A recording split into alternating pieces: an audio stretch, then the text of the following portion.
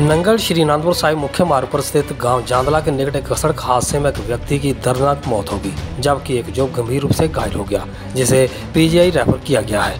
मृतक पड़ोसी हिमाचल के जिला ऊना के तहत पड़ते गाँव मलाहत का रहने वाला था जो ऊना में सैनिक कंटीन में नौकरी करता था और कंटीन के काम से सोलन जा रहा था। सबसे दुख बात ये रही कि मृतक की शादी कुछ दिनों पहले ही हुई थी।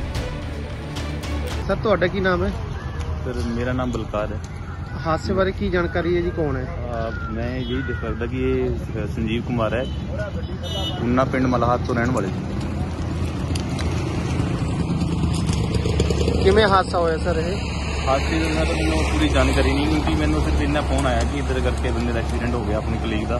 ਤੇ ਜਾ ਕੇ ਦੇਖੋ ਤੇ ਦੇਖਿਆ ਤੇ ਜੋ ਇਹਦੇ ਨਾਲ ਦੇ ਸੀ ਸਿਵਲ ਹਸਪੀਟਲ ਚੈੱਕ ਕੀਤਾ ਜਾ ਕੇ ਉਹ ਗ੍ਰਿਫਤਾਰ ਕਰ ਗਏ। ਤੋ ਇਹ ਪੀਜੀ ਰੈਫਰੈਂਸ ਕਿੱਥੇ ਜਾ ਰਹੇ ਸੀਗੇ? ਕਿੰਨੇ ਵਜੇ ਹਾਦਸਾ ਹੋਇਆ ਕੀ ਜਾਣਕਾਰੀ ਹੈ? ਜੀ ਹਾਦਸੇ ਦਾ ਟਾਈਮ ਤਾਂ ਮੈਂ ਦੱਸ ਨਹੀਂ ਸਕਦਾ ਕਿੰਨੇ ਵਜੇ ਹੋਇਆ ਹੈ। ਇਹ ਤਾਂ ਕੋਈ ਲੋਕਲ ਬੰਦਾ ਜੋ ਇਹਨੇ ਔਨ ਦੀ ਸਪੋਟ ਥਾ ਵੀ ਦੱਸ ਸਕਦਾ ਹੈ। ਤੇ ਬਾਕੀ ਉਹਨਾਂ ਕੰਡੀਨ ਦੇ EMPLOYE ਹੈ ਤੇ ਇਹ ਜਾ ਰਹੀ ਸੀ ਡਾਕ ਸਾਈਨ ਕਰਾਉਣ ਵਾਸਤੇ। ਔਰ ਸੋਲਨ ਦੇ ਲਾਗੇ ਬੰਦਾ ਫਿਰ ਡਕਸਾਈ ਕੰਦੀ ਜਗ੍ਹਾ ਉੱਥੇ ਜਾ ਰਹੀ ਠੀਕ ਹੈ।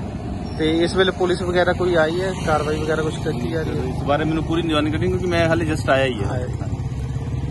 ਹੈ एनकाउंटर ऊना से सुशील पंडित की रिपोर्ट